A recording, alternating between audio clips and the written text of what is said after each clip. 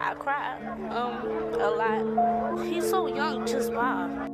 This is Hezekiah Bernard, 12 years old, shot in the head and dumped in the garbage like trash. Beginning August 22nd, Tuesday of last week, when a housing authority sanitation worker picked up a plastic trash container on the 5500 block of Cherry Street.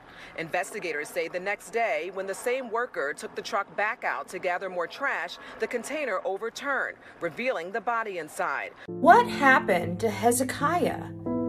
Because we're getting conflicted information. Was he in the system or was he not? How did he get in the dumpster with a bullet in his head?